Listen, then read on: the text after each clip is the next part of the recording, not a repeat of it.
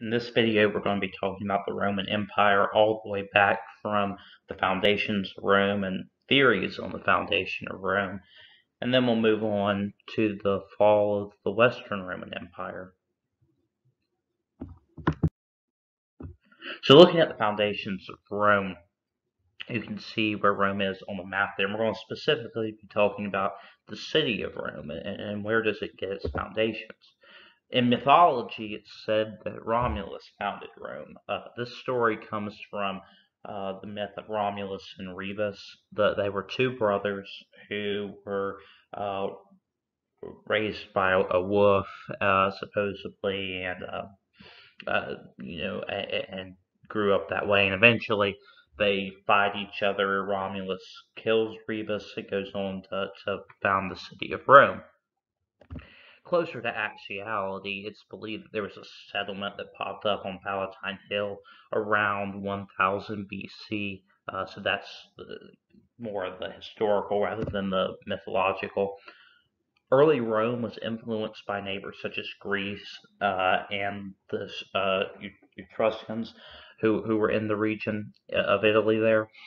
Uh, the Latin language, which will become the language of Rome, was heavily influenced by Greek, for example, um, along with some other native languages in Italy. Uh, the alphabet comes from the Phoenicians that we talked about in one of the earlier videos, uh, training people. And uh, perhaps most importantly, from Greece, Rome takes Greek polytheism and, and this idea of multiple gods, takes those gods and renames them. Uh, the Olympics, for example, will still be practiced when Rome eventually conquers Greece. So, uh, a lot of correlation to Greece that we just talked about.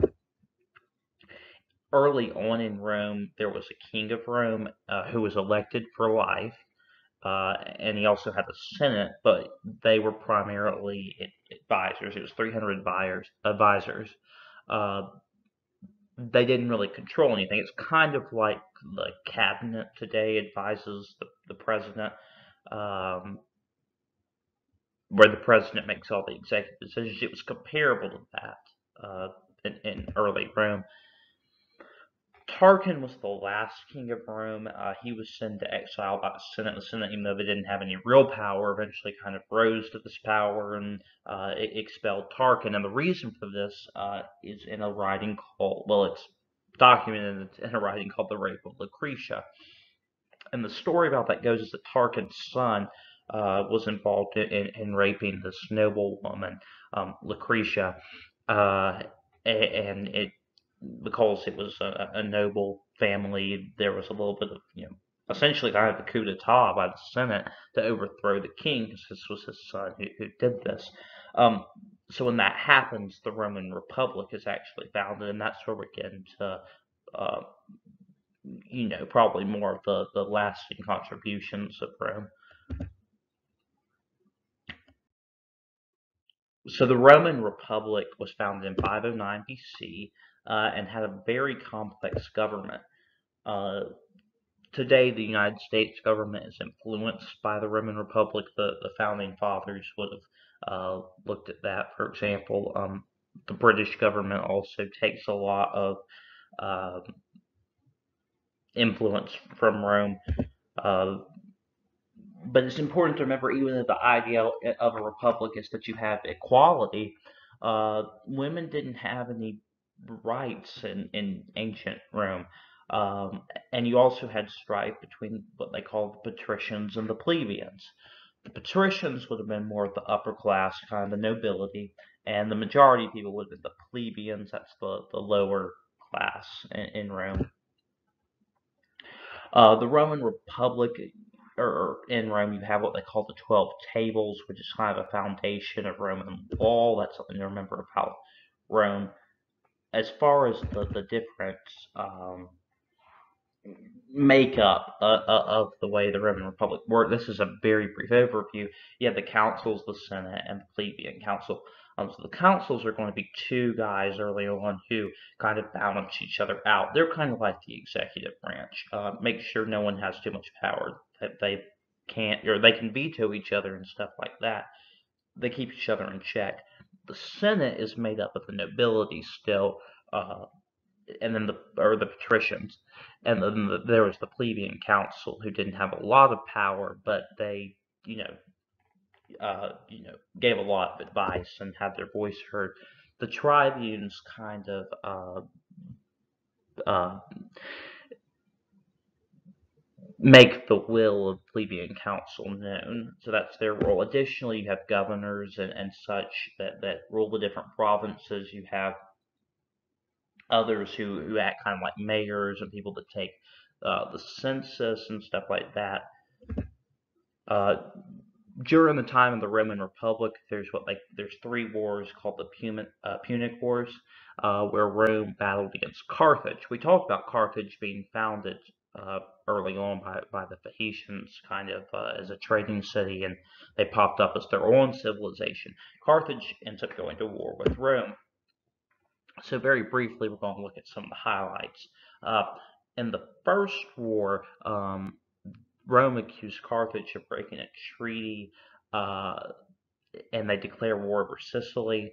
Um, as a result of the war, Rome won the war and took Sicily, uh, and Carthage had to pay a fine and give up control of Sicily.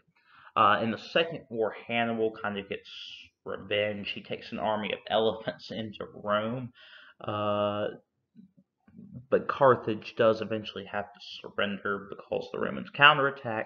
And then the Third Punic Wars, uh, there, the Romans actually going to take control of Carthage.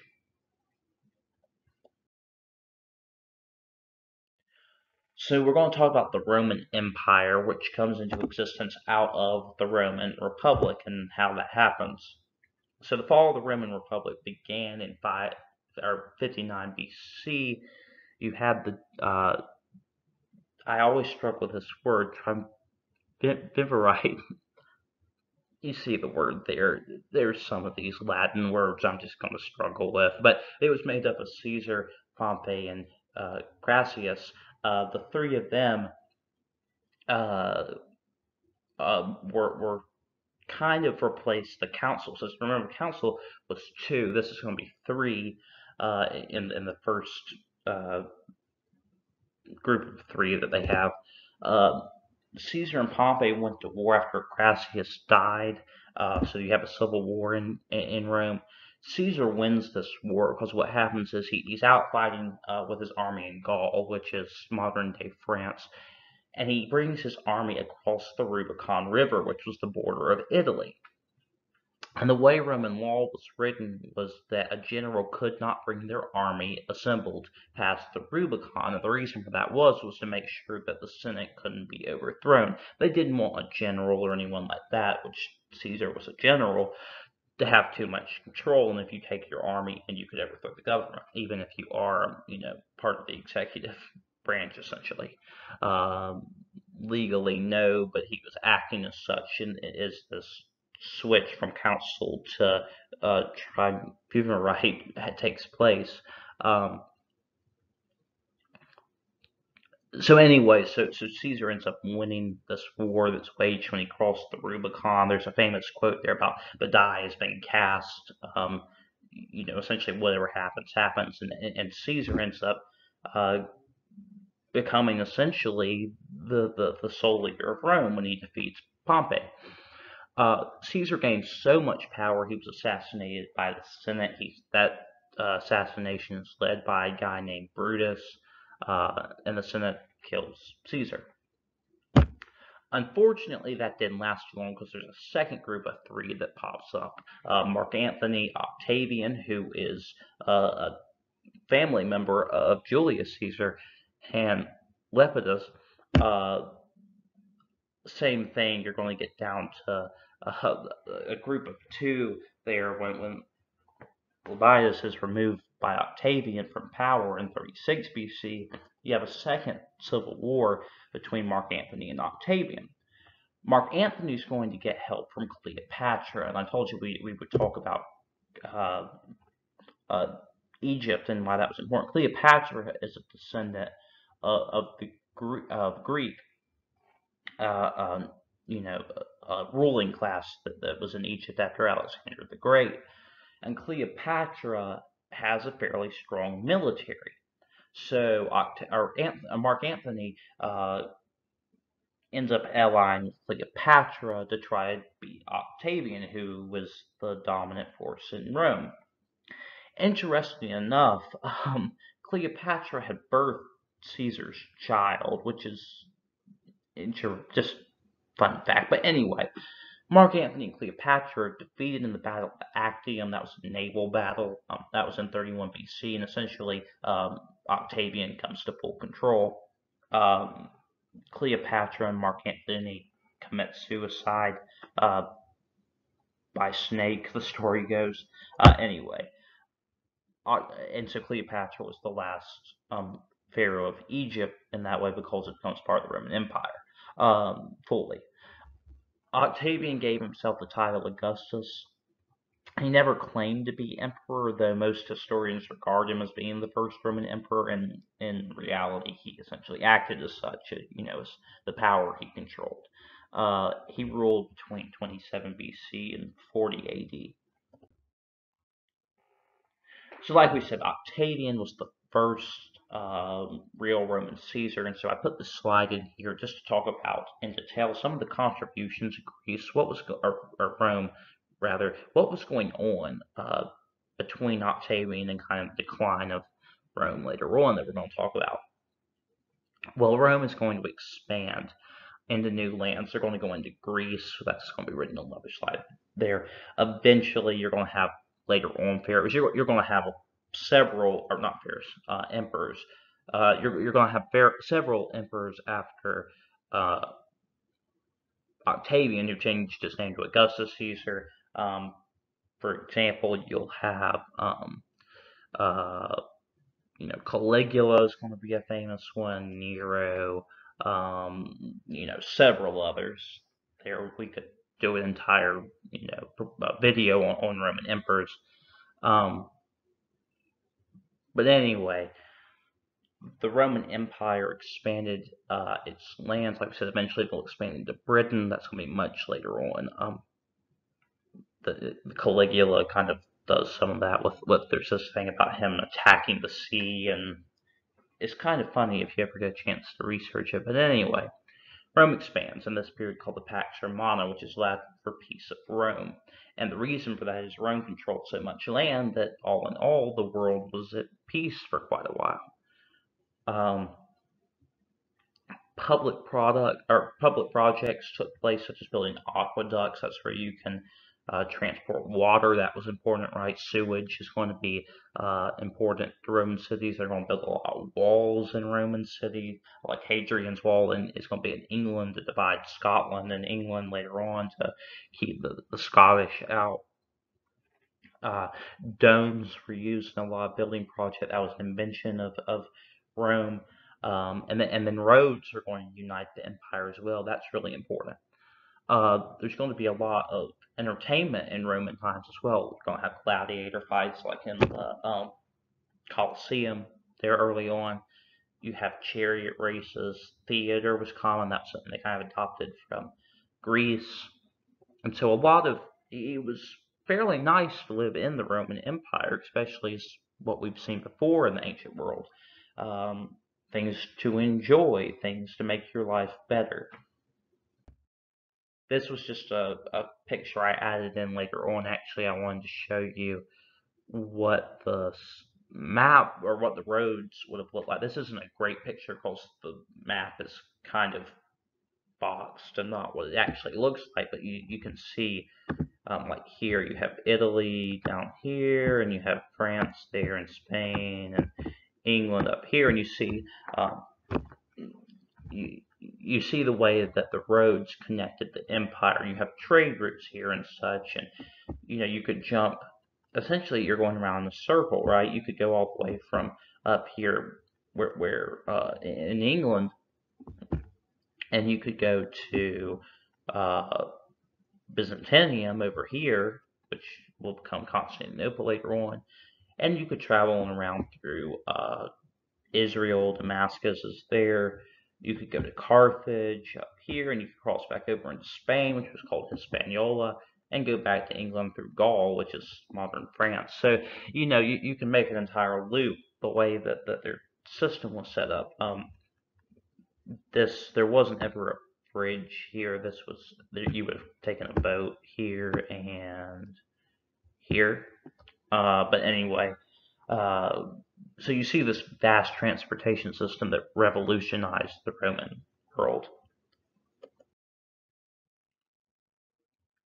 So we're going to look at Christianity, which pops up uh, during Roman times. So we'll take a, a bit of a break, I guess, between the, the Roman Caesars and such. We'll pick back up with the next slide, um, but talking a little about about uh, Christianity, which, um, like I said, pops up in, in the Roman province of Judea that we just looked at on that other map. So around 1 AD, there's some debate. Maybe it was 5 BC, 4 BC, somewhere around 1 AD. Jesus of Nazareth, Nazareth was born. Uh, he grew up Jewish, so he would have practiced Judaism in the Roman Roman province of Judea. And Jesus claimed to be the Christ, which was important, which is a, a, Greek term for Messiah. Uh, and in Judaism, uh, the the Jews were waiting for this Messiah to come, and the m- major interpretation at that time was that God would send someone to liberate the Jewish people well, Jesus claimed to be this Messiah. Uh, but Christians, Christianity is going to emerge. Jesus is going to amass this following around 30 AD when he really starts teaching, um, with this idea that the kingdom of God was at hand. The idea that it's not so much about overthrowing Rome, uh, but it's about God saving humanity from their sins, and not just the Jews, but the rest of the world as well. And so it's a major shift in the theology, the, the ideas about God for, for Jews, and essentially historians regard this as entirely religion. Christianity pops up. This idea that Jesus is the Messiah. Not only that, Jesus claimed to be the Son of God and to be equal with God, that he was God himself. Um, and according to the Bible, he came from a virgin birth. Uh, so the idea that Jesus is fully man and fully God. Jesus was crucified on the charge of essentially public disorder um, by Pontius Pilate, who was the Roman governor of Judea uh, in the third century. And according to the Bible, Jesus resurrected from the dead three days after his crucifixion uh, in order to save humanity from their sins. This is known as substitutionary atonement by many Christian sects or denominations, and it's the way of God giving grace to those who have faith in Jesus. Early on, Christians were persecuted for their beliefs in the Roman Empire, and then around 300 AD, uh, Emperor Constantine converted to Christianity and sponsored the Council of Nicaea.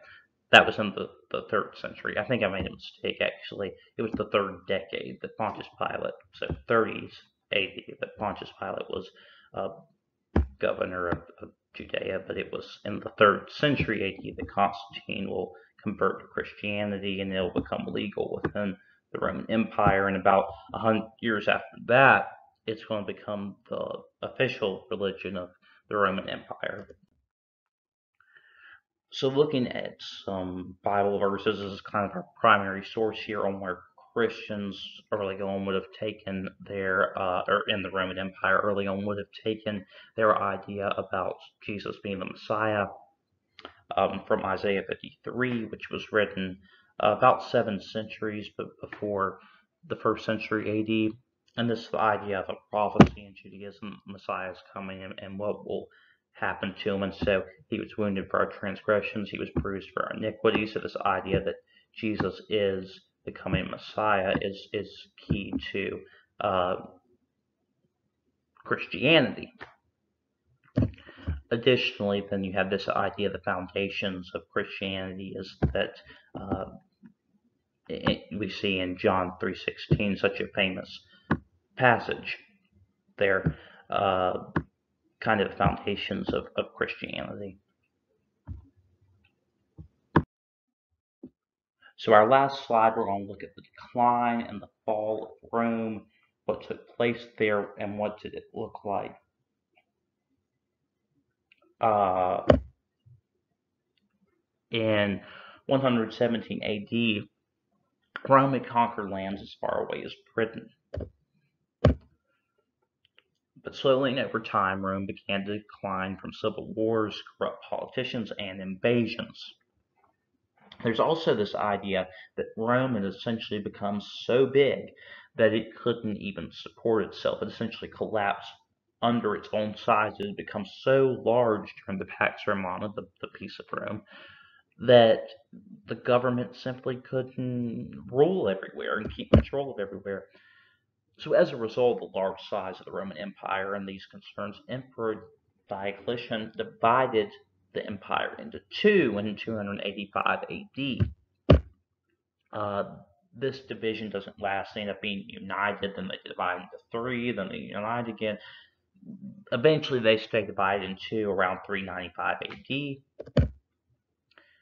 In 410 AD, the city of Rome was attacked by a Germanic tribe known as the Visigoths.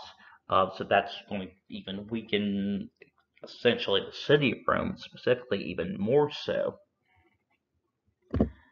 In 476 AD, the city of Rome fell, uh, you know, kind of had a final fall, led by a Germanic tribe um, by Odoacer, who becomes he crowns himself king of Italy, and the Western Roman Empire falls at this time, uh, according to most historians. So that would have been the area in blue, and you even see here that, that this entire area of Spain and much of France and such that there's no blue and the reason this these areas would have already rebelled by this point of 476 or around that time uh, they would have already rebelled and Rome didn't have control over them. They still control, um, you know, around here like Normandy and such in France. Uh, they would have still controlled in the north of Africa a little bit, uh, Italy uh, and such. But Western Rome was really on the decline. Now you see Eastern Rome, which is over here, stays intact. And like I said, they lose a lot of land every time, but they will remain until 1453 AD. That's called, or goes on to be called the Byzantine Empire. Everyone that lived there would have considered themselves Roman. It was the Eastern Roman Empire, even though the West had fallen. Uh, and we'll pick back up with them uh, much later on. We'll, we'll talk about them in the medieval world. In the next video, we're going to be going back to the beginning of time where we talked about Mesopotamia and river valleys. We're going to be talking about river valleys in India uh, and then on up through the classical age. This is called the classical age with Rome. Uh, you have four major classical civilizations Greece, Rome, um, you have India, and China. So we're going to talk all the way in the next video from the river valleys up to classical India. Then we're going to do the same with China, talk about river valleys through classical China. After that, we'll talk a little bit about what was going on in Africa during all this time.